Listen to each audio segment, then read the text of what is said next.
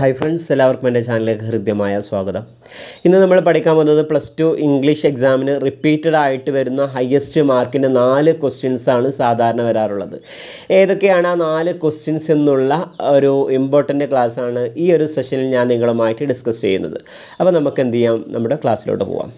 അപ്പോൾ സാധാരണ നമ്മുടെ ഇംഗ്ലീഷ് ക്വസ്റ്റ്യൻ പേപ്പറിൽ ലാസ്റ്റ് ആയിട്ട് വരുന്ന ഒരു നാല് ക്വസ്റ്റ്യനാണ് എട്ട് മാർക്കിന്റെ നാല് ക്വസ്റ്റ്യൻ ആ ഒരു നാല് ക്വസ്റ്റ്യനിൽ ഏതെങ്കിലും ഒരു രണ്ട് ക്വസ്റ്റ്യൻസ് എഴുതി കഴിഞ്ഞാൽ തന്നെ നമുക്ക് എന്ത് ആ ആ ഒരു സെഷനിൽ നമുക്ക് ഫുൾ മാർക്ക് സ്കോർ ചെയ്യാൻ കഴിഞ്ഞു. അപ്പോൾ സാധാരണയായി റിപ്പീറ്റഡ് ആയിട്ട് വരുന്ന ഒരു ഷുവർ രണ്ട് ക്വസ്റ്റ്യനാണ് ഫസ്റ്റ് വൺ പോയം കമ്പാരിസൺ ഒരിക്കലും മറന്നു പോകരുത് എങ്ങനെയാണ് പോയം കമ്പാരിസൺ എഴുതുക എന്നതിനെ പറ്റി ഡീറ്റെയിൽ ആയിട്ട് ഞാൻ അപ്ലോഡ് ചെയ്തിട്ടുണ്ടായിരുന്നു. ആ വീഡിയോ കാണാൻ ആവശ്യമുള്ളവർക്ക് എന്ത് ചെയ്യാം? ഞാൻ എന്ത് ചെയ്യാം? ഞാൻ മുൻപ് അപ്ലോഡ് ചെയ്ത വീഡിയോ ഈ ഒരു വീഡിയോന് ഡിസ്ക്രിപ്ഷൻ ബോക്സിൽ ഇടാം. അപ്പോൾ നിങ്ങൾ പോയം കമ്പാരിസൺ എഴുതാൻ അല്ലെങ്കിൽ അത് പഠിക്കാൻ നിങ്ങൾ ഒരിക്കലും മറന്നു പോകരുത്. സിമ്പിൾ ആയിക്കൊണ്ട് മാർക്ക് സ്കോർ ചെയ്യാൻ പറ്റിയ ഒരു ക്വസ്റ്റ്യനാണ് പിന്നെ രണ്ടാമത് നമുക്ക് ചാൻസ് ഉള്ള രണ്ടാമത്തെ ഹൺഡ്രഡ് പെർസെന്റ് ചാൻസ് ഉള്ള ഒരു ക്വസ്റ്റ്യനാണ് ഒന്നെങ്കിൽ ഏത്?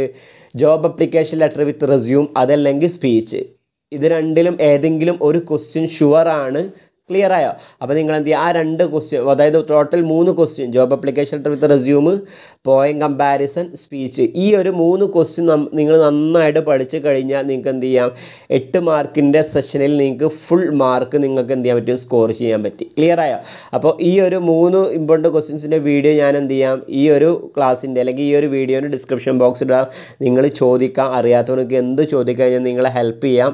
ക്ലിയർ ആയ ഈ ഒരു വീഡിയോന്റെ ഡിസ്ക്രിപ്ഷൻ കമന്റ് ബോക്സിൽ നിങ്ങൾ വന്നാൽ മതി. ഓക്കെ അപ്പോൾ ക്ലാസ് മനസ്സിലായെന്നാണ് ഞാൻ വിചാരിക്കുന്നത്. Anyway thank for watching my video